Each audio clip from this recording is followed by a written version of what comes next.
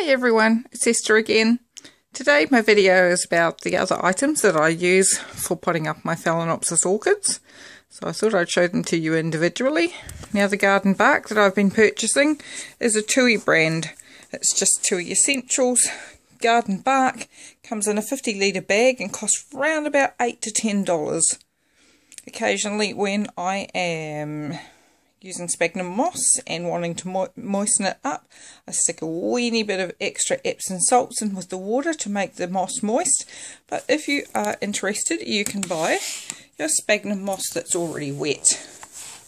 So this one here is about a approximately $7 bag. It's one kilo of sphagnum moss.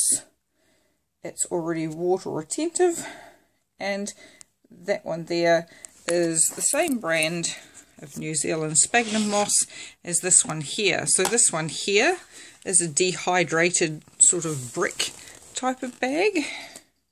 It says that it's 12 litres, but of course that one you have to pop into a container or a bucket, let it soak to moisten it all up. So I thought I'd show you what it looks like when I've potted a phal. Now this one got repotted about a month ago. And look what she did as soon as she got in the pot. Her roots went berserk. I've ended up with so many new roots. They're growing out of the holes. They're everywhere. But it's, oop, got a bit of felt tip on there from the shop. It's just a plain white phal.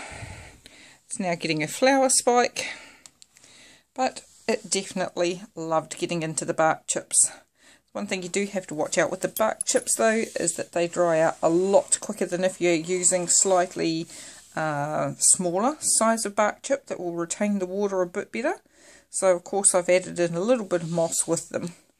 If I've got a phal that's come from the store and it's been really really really wet I don't put quite as much moss in with it and I certainly don't water it for a while just to let it dry out. But that's my happy phal and the bark chips and the sphagnum moss. Alrighty, thanks for watching my video today. If you like my video, give me the thumbs up. If you didn't like my video, give me the thumbs down, but please give me a comment why, so that I can help improve my channel. Thank you for watching me today. Bye!